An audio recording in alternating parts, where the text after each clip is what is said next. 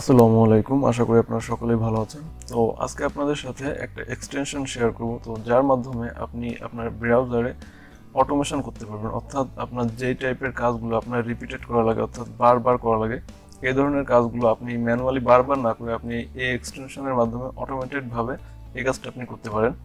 তো আপনি যদি আমার চ্যানেল নতুন হয়ে থাকেন, অবশ্যই চ্যানেলটি সাবস্ক্রাইব করবেন এবং পাশে থাকা বেল আইকনে ক্লিক করে দেবেন। তো চলুন আমি আপনাদের দেখাই কীভাবে আসলে কাজটি করবেন। তো এটার জন্য আপনার যে ব্রাউজারটা দরকার হবে সেটা হচ্ছে গুগল ক্রোম তো আমরা গুগল ক্রোম ব্রাউজারটা ওপেন করব। তো ওপেন করার পরে এখান থেকে আমরা এক্সটেনশন গুগল ক্রোমের যে এক্সটেনশন এই এক্সটেনশনে যাব। এর জন্য আমরা ক্রোম ওয়েব স্টোরে প্রবেশ করব। আমি এখন ক্রোম ওয়েব স্টোরে প্রবেশ করতেছি। তো ক্রোম ওয়েব স্টোরে প্রবেশ করার পরে আপনি এইখান থেকে, আপনি যেটা করবেন, যে আপনি আই ম্যাক্রোস লিখে সার্চ দিবেন। তো আই ম্যাক্রোস লিখে সার্চ দেওয়ার পরে আপনি এখানে আই ম্যাক্রোস ফর ক্রোম এটা পেয়ে যাবেন। তো আপনি এটাকে প্রথমে আপনি সেট আপ করবেন। তো এখান থেকে আপনি অ্যাড টু ক্রোম এখানে ক্লিক করবেন। তো অ্যাড টু ক্রোম এখানে ক্লিক করার পরে আপনি এখান থেকে অ্যাড এক্সটেনশন এখানে ক্লিক করবেন। তো এটা এইখানে আমাদের অ্যাড হয়ে যাবে। তো এখানে অ্যাড হয়ে গেছে। তো অ্যাড হয়ে যাওয়ার পরে আমরা এখান থেকে এটাকে পিন করে দেব। তো পিন না করলে উপরে এখানে শো করবে না। তো এটা হচ্ছে আমাদের এটা সেট আপ হয়ে গেছে। এটা হচ্ছে আই ম্যাক্রোসের যে ওয়েবসাইটটা, এটা তো এটা দরকার নাই। তো এটা হচ্ছে আমাদের সেই যে এক্সটেনশন সেটা। এইখানে কিছু ডেমো দেওয়া আছে, তো ডেমোগুলো দরকার নেই, আমরা এগুলো রিমুভ করে দিই।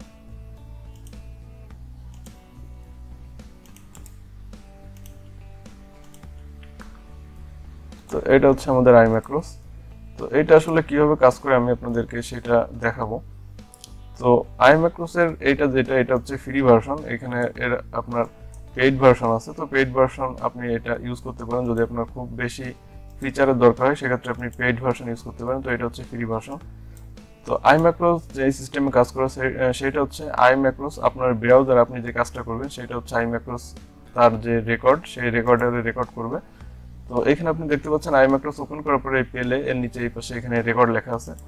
আপনি আই ম্যাক্রোসে যদি আপনার যে ব্রাউজার আপনি যে কাজ করবেন এটা রেকর্ড করেন রেকর্ড করার পরে আপনি যদি এটা পেলে করেন, তো ব্রাউজার অটোমেটিক আপনি যে কাজটা করছিলেন সেটা ব্রাউজার নিজে নিজেই করবে। অর্থাৎ আই ম্যাক্রোস তার যে স্ক্রিপ্ট সেটা সেভাবে পেলে করবে।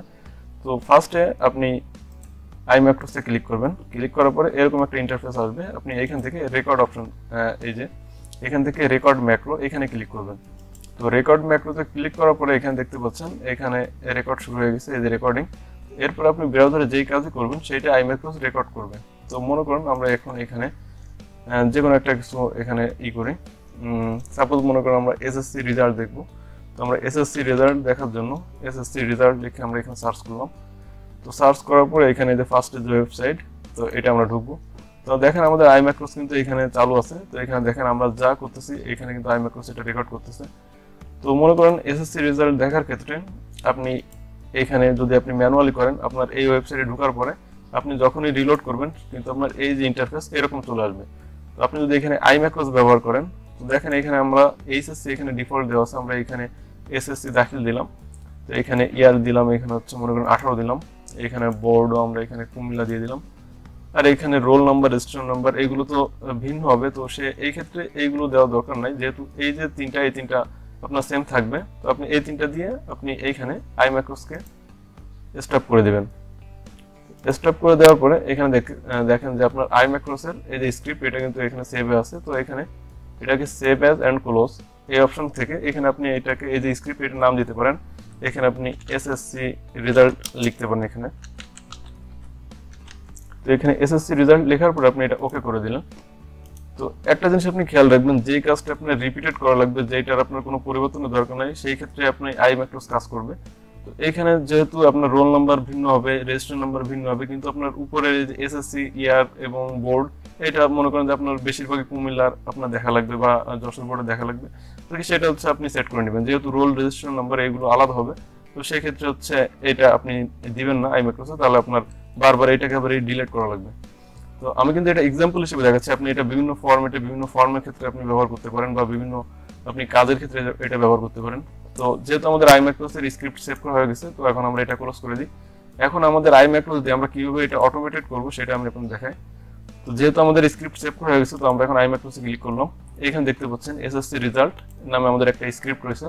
তো আমরা এই স্ক্রিপ্টে ক্লিক করার পরে আমরা যদি এখান থেকে প্লে ম্যাক্রো দিই তো দেখেন এইখান থেকে অটোমেটেড আমাদের কিন্তু সেইখানে যে সেই যে পেজ সেইখানে কিন্তু নিয়ে আসলো। এর জন্য আমাদের কিন্তু কিছুই করার দরকার নেই। আপনি, আপনার প্রতিটা রেজাল্ট মনে করেন আপনি সার্চ দেওয়া শেষে আপনি এটাকে ই করে দিয়ে ক্লোজ করে দেওয়ার পর আপনি এখান থেকে আই ম্যাক্রোসে ক্লিক করবেন। আই ম্যাক্রোসে ক্লিক করে এখান থেকে প্লে ম্যাক্রো এটা দিলেই কিন্তু আপনার অটোমেটিকভাবে আপনার সেই যে স্টেপ সেই স্টেপে আপনার নিয়ে যাবে। আপনি এখান থেকে জাস্ট আপনার রোল নাম্বার রেজিস্ট্রেশন নাম্বার এটা দিয়েই কিন্তু আপনি আপনার যে কাজ, সেটা কিন্তু আপনি করতে পারবেন। দেখেন, আপনি যতবারই দিন না কেন ম্যাক্রো কিন্তু সেইভাবেই আসলে কাজ করবে। অনেক ক্ষেত্রে হয়তো আপনার ইনপুট ডাটা মিসিং হতে পারে কিছু। তো সেক্ষেত্রে আপনি এটা পুনরায় রেকর্ড করবেন। তো আপনাদের বুঝতে কোনো সমস্যা হলে অবশ্যই কমেন্ট করবেন। আমি চেষ্টা করব আপনাদেরকে সমাধান দেওয়ার। তো ভিডিওটি দেখার জন্য আপনাদের অসংখ্য ধন্যবাদ। ভালো থাকবেন সবাই। আসসালামু আলাইকুম।